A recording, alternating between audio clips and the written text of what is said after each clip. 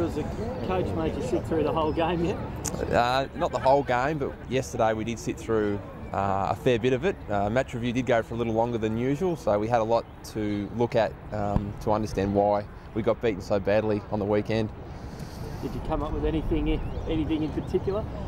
Yeah, there was a lot of things, a lot of little things which culminated into to big things. We just didn't uh, play as a team. I think we uh, sort of went into our shells um, during the second quarter when they got a run on. They got lots of goals early in each quarter, and every time that happened, we just uh, kind of hit away and, and, and became became.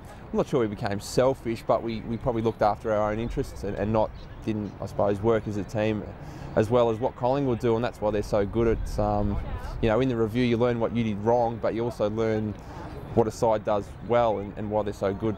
What are, what are your thoughts on some of the uh, big offers that GWS are reportedly making to players at the moment? I guess from a players' perspective. Uh, well, I think we've uh, most AFL players are just coming to accept GWS and Gold Coast and what they're able to offer to get into the market and to get good players. Um, it's I think it, it is, I mean, it's a, a, ridiculous amount of money that players are getting offered and, and, are going to those clubs for, but at the same time, I can understand why they're doing it, and I wouldn't begrudge, uh, you know, anybody for going up. I don't begrudge Gary Ablett for going. If uh, if they're throwing those ridiculous amounts of money at you, it's um, it's pretty enticing. Are you concerned that any North players could uh, fall into GWS clubs in the next six or eight weeks? three months or so? Uh, well, there's always a possibility. I wouldn't. Uh, I certainly hope we don't lose any players. I think we've got a really good core group of players. If we can keep over the next two or three years that we'll go places with. So, money is enticing, but I think.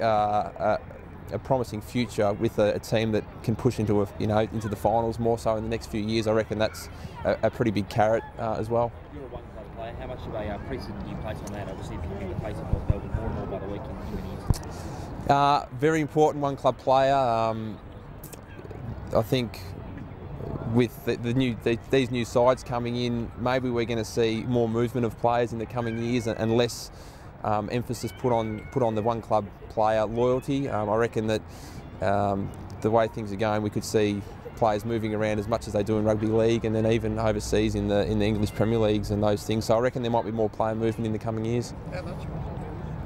Oh, I'm not sure it's going to be dramatic um, overnight, but um, with I guess nobody, everyone wants to start and finish at the one club, but now you're seeing two two new sides, and if the AFL expand again with more sides, and then if you know they try and relocate sides, then if people want to and, and people wanting to come back to their home states, for for example, as well. So I reckon there'll be more movement in the coming years. Do you feel for guys like Tom Scully?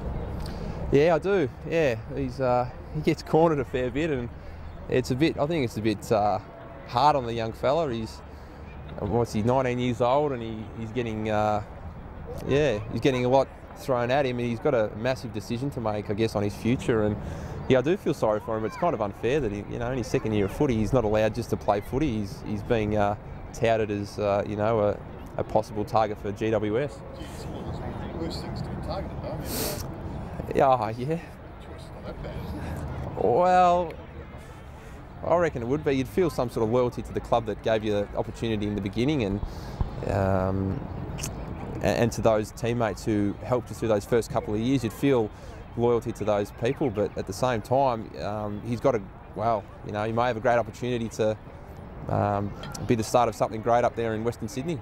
Responding, sorry, responding this week uh, to what was a, a, drubbing last weekend. How mm. important does it become now? Yeah, mightily important. Um, I think over the last probably 12 months we've spoken about being competitive with sides above us and in the top four especially and we've done a lot of talking about that but there's not been a lot of actions in, in response when it comes to game day so uh, I think we need to put the talking to one side and just get out there and, and prove our worth with our actions. There's been a bit of feeling between the two clubs, especially last year with uh, Big Bad Barry. Uh, is it is it a bit of a grudge match sometimes against the Bulldogs?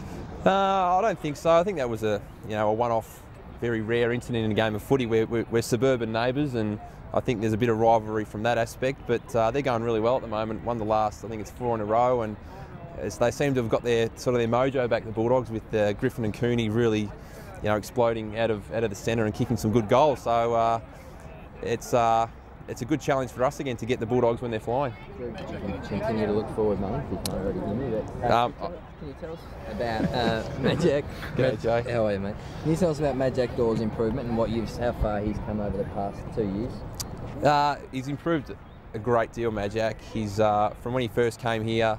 I can still remember his first few training sessions. Uh, he was very raw, hadn't played footy for a whole lot of time, but this year we're seeing him do great things at Werribee. Um, you know, he's kicked some goals this year, which is one thing Ruckman needs to do. And um, you know, there's been plenty of talk about when's Majak going to get his opportunity, and uh, hopefully, uh, hopefully that comes soon. But um, he's still got a lot of improvement and needs to go a, a fair way before he gets that chance. But he played a bit of uh, NAB challenge uh, games this year and was was um, was okay in those games. So he's he's uh, heading in the right direction. Is it realistic that he could play a senior game this year, or is that probably expecting a bit much? Um, it's probably expecting a- a little bit much, I'd say. Yeah, um, you don't want to throw a fella in and when he's not ready. Uh, I think that'd be probably the wrong way to do things. Majak's playing consistent footy at VFL level, which is a great start. And, and once he can do that for a long period of time, then I reckon he's ready for the next step. Can you tell us Coming back to um, the loss on the weekend, Yep. Brad's been really publicly sort of optimistic and positive and supportive and stuff. But behind the scenes, has he been a bit tougher on you and, and been a bit more demanding? Uh, I mean, the two are often different. Yeah. Sort of time to knuckle down a bit? Yeah, yeah. I certainly noticed this year he's he's risen the bar in his expectation level of the group, and from the match review he had yesterday, he's certainly um, uh, put put it on a few blokes who, who didn't um, do the things that he asked during the game. So he's his tone of voice did go up a little bit in yesterday's meeting, which is. Uh, I guess what footy coaches do, and, and players need to respond when that happens. Have you been a bit frustrated? about the uh, multicultural programs at AFL? How successful you reckon they've? Yeah, really successful here today. We have uh, a multicultural academy and an Indigenous academy, which uh, the uh, North Melbourne Football Club through the Huddle have uh, developed over the last two years. So um, they're going to have a game here on Sunday, and then they're going to walk to uh, Etihad Stadium and watch uh, the Bulldogs play ourselves. And I think uh, getting uh, people from all walks of life to come together and train. Um, and sport's certainly a, a bridge in, in, in that sort of area. So it's, uh, it's been a positive uh, thing the footy club's done over the last two years. Thanks.